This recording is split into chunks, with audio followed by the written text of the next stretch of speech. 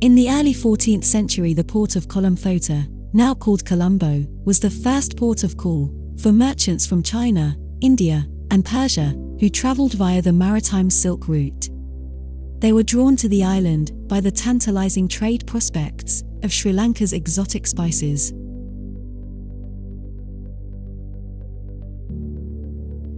With the landing of Lourenco de Almeida in Galle in 1505 and the subsequent colonization of the country, the Western world too realized the country had immense potential as a trading hub.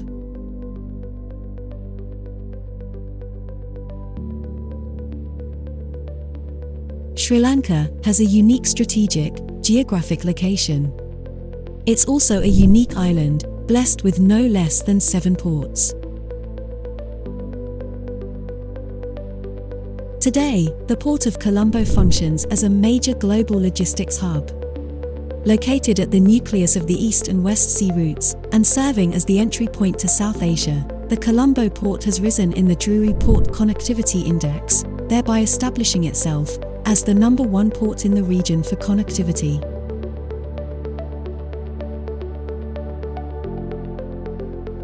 The Port of Colombo is the main transshipment port for the Indian subcontinent, with all major shipping lines operating out of Colombo. It also can accommodate the largest container vessels afloat. The Sri Lanka Ports Authority is the governing and regulatory body and has transformed the ports and maritime sector, making them key drivers of the country's economy.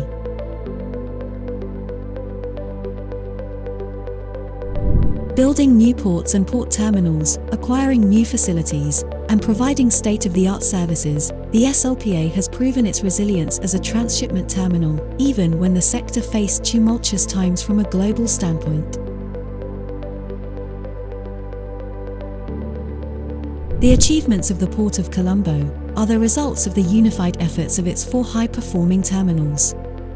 These operational terminals are the Jaya Container Terminal, South Asia Gateway Terminal, Colombo International Container Terminal, and the Colombo East Container Terminal.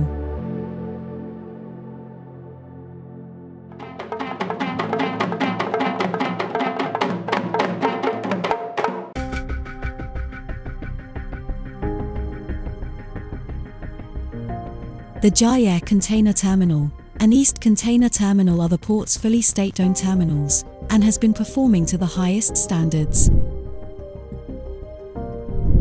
The Jaya Container Terminal has been in operation for over 36 years. Since it opened in 1985, the Jaya Container Terminal has grown both in capacity and strength. Popularly known as JCT, the terminal is made up of four container berths and two feeder berths. It also has a total container terminal area of 45.5 hectares and a container freight station area of 15,000 square meters. The terminal features an impressive dry container stacking capacity of 60,000 TEUs and a reefer container stacking capacity of close on 1,600 TEUs. The JCT is set to expand and upgrade with numerous value additions.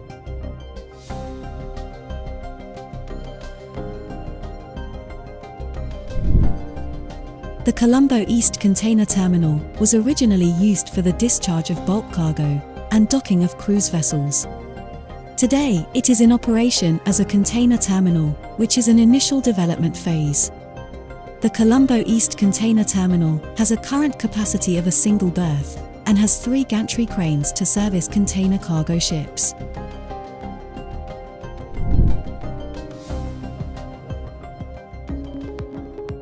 The South Asia Gateway Terminal is the first public-private partnership stevedoring company in Sri Lanka with a majority local shareholding.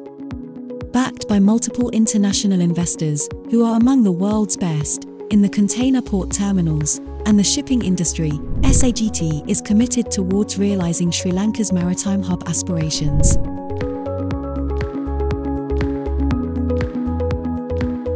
With a vision to becoming the most trusted gateway terminal in the Indian Ocean, SAGT has brought performance excellence and best practices to the industry.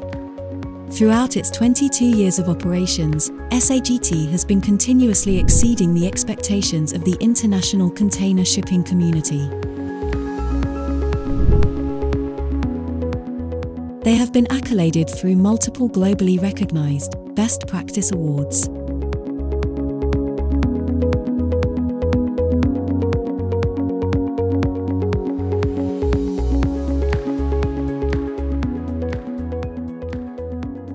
Colombo International Container Terminal, better known as CICT, is the first and only deepwater terminal in South Asia, capable of handling the largest vessels afloat.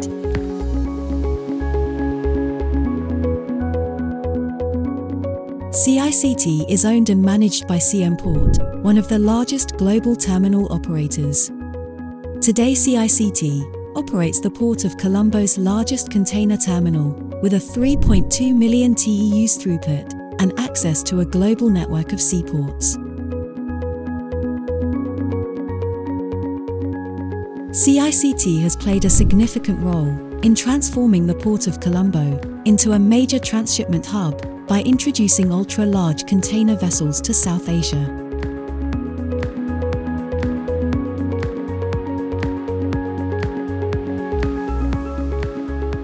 Carrying out its operations in a sustainable manner. One of the key projects completed recently was the conversion of all CICT's RTGs to electric. This resulted in an overall 40% reduction in carbon emissions at CICT.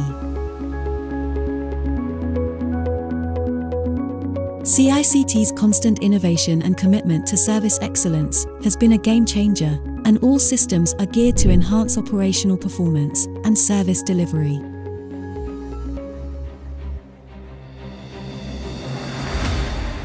Today, the Port of Colombo is at the heart of an extensive expansion plan. Firstly, this includes the Sri Lankan Ports Authority, equipping and developing the East Container Terminal, which will stand as the second deep draft container terminal in the Colombo South Harbour. The plan is to extend the current quayside length to 1,300 metres allowing three berths with the capability of handling very large container vessels. In addition to the improvement of the ECT terminal, in 2022 construction of the first phase of a 700 million US dollar project, the West Container Terminal, is scheduled to commence. This is a joint venture between India's Adani Group and John Keells Holdings, with a minority shareholding owned by the Sri Lanka Ports Authority. The build, own, transfer agreement between the stakeholders will see this new proposed deepwater terminal having the facilities of a 1,400 metre long quay, with an alongside depth of 20 metres. It's expected that this terminal would add an additional 3.2 million TEUs to the port throughput.